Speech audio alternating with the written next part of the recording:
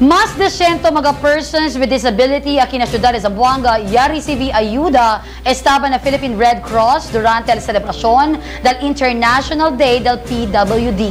Donde el Philippine Red Cross ta encabeza el Governor Celso Lobregat y llama con todo mga mayores quien tiene anak PWD para atender con la celebración. Na-mention ng aktibidad, ya dali sila food assistance con el más de 100 mga PWD. Imidya mo! 100 food pack, no? Yeah. 100 food packs. Uh, escogidos de otro, otro barangay, tiene San Roque, tiene Santa María, uh, tiene de Santa Barbara. So, uh, all in all, 100, no?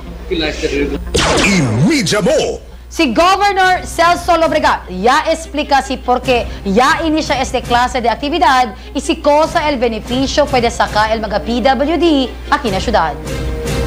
Imidya mo! Actually, este día, January 8, la entero mundo ta celebra International Day for Persons with Disability.